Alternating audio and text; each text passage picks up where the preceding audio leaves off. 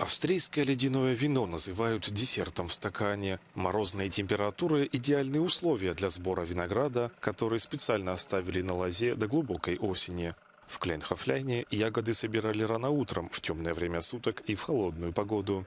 Замороженные грозди отправлялись в пресс при темперatuре минус 12. Bei der Eisweinlese ist ein natürliches Konzentrierungsverfahren. Da muss die Beere komplett durchgefroren sein. Das heißt, das Wasser in der Beere friert ein und die anderen Inhaltsstoffe, wie der Zucker, der bleibt dann noch in sehr dickflüssiger Form übrig und das werden wir dann im gefrorenen Zustand noch auspressen.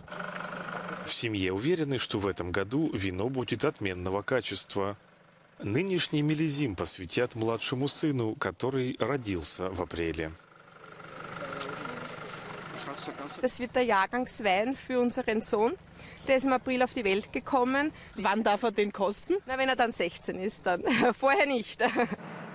Что ж, не у каждого был такой подарок на 16-летие.